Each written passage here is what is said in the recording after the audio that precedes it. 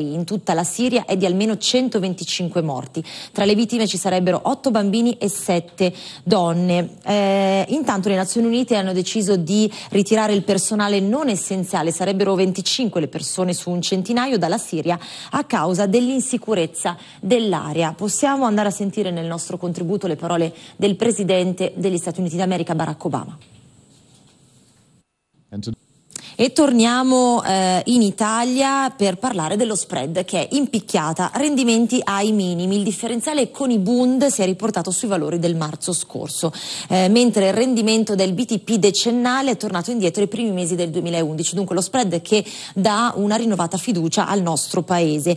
Per la prima volta dal, dal marzo scorso, infatti, la differenza di rendimento tra i titoli pubblici decennali italiani e tedeschi è scesa sotto la soglia dei 300 punti base a 295 5 punti, per qualche momento è sceso ulteriormente, un livello psicologico oltre che un risparmio sulla spesa per interessi e un vantaggio diretto per le casse dello Stato. I livelli attuali dunque ci hanno fatto tornare indietro più o meno ai primi mesi del 2011 quando lo spread con la Germania era intorno a quota 300. 300. La soddisfazione palese del Premier Mario Monti che dice però ora eh, c'è un altro obiettivo, scendere ulteriormente, il mio desiderio, il mio sogno sarebbe arrivare a quota 287, questo questo significherebbe praticamente la metà rispetto al livello eh, spread, sul quale lo spread si attestava quando il mio governo tecnico si è insediato perché si parlava di 574 punti.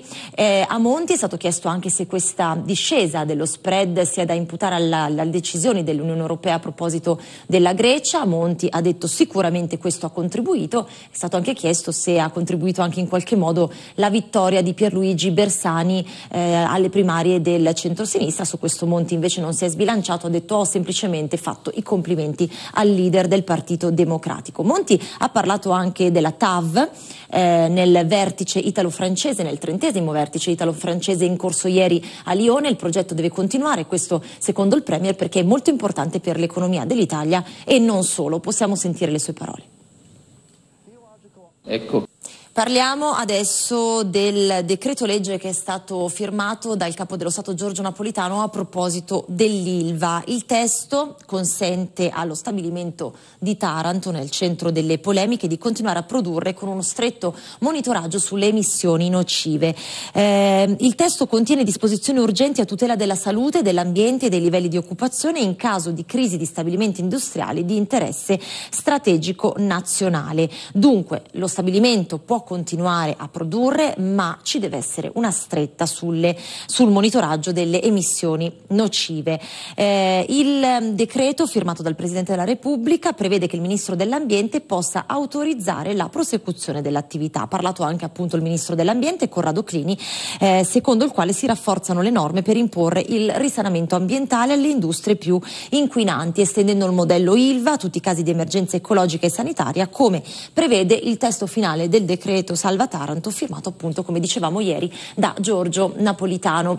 Andiamo alla redazione di Class Meteo adesso per fare il punto della situazione sulle previsioni del tempo per le prossime ore. Matteo Zanetti, a te.